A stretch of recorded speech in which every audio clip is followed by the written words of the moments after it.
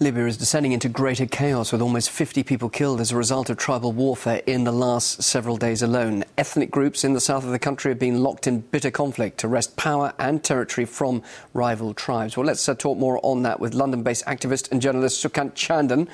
Well, it's um, been many months since the official victory of the Libyan revolution, but violence continues. Dozens are, are killed almost on a weekly basis. Why?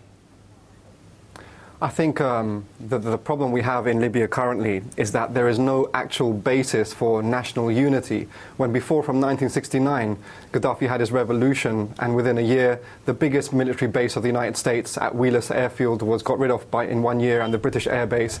You know, there was actually a political leadership and a political momentum and organization and movement that sought to unite the tribes of Libya on the basis of independence and a progressive internal economic policy and an anti-imperialist foreign policy.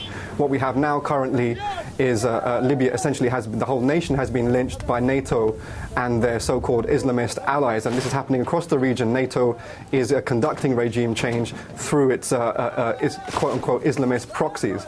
So now all those tensions, all those divisions that the Gaddafi era had kind of united and kind of you know kind of managed successfully has all come out in the open, and everyone is fighting everyone for a bit of the of, of the crumbs which NATO is throwing at them.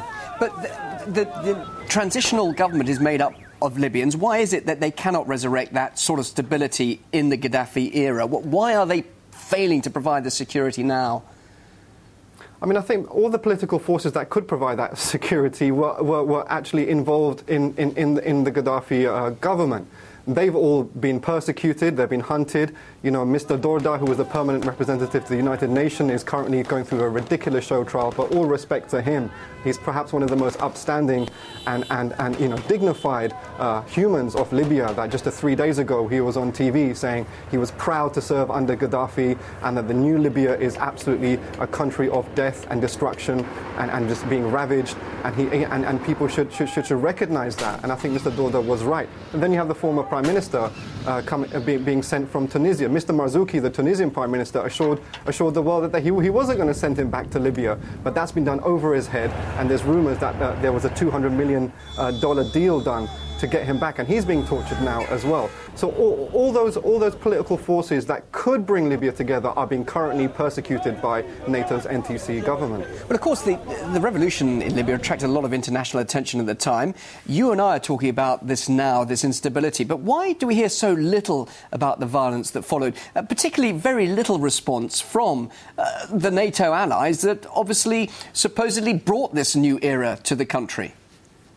Straight off, I'd really like to thank Russia Today for being really the only international news channel that has anything close to a semblance of balanced coverage on Libya. Every other channel, pretty much, has really fallen flat and has failed to provide just the professional level of balanced reporting. To directly answer your question, they've achieved what they wanted to achieve. That's NATO and the NTC forces. They wanted to overthrow Gaddafi and they wanted to scramble for, for, for the mineral wealth and for political power in Libya. In as much they want to do that, they've been successful. And that, and that alone is their definition of democracy. We widen that out to the, regi- to, to, to, the regional context of Africa.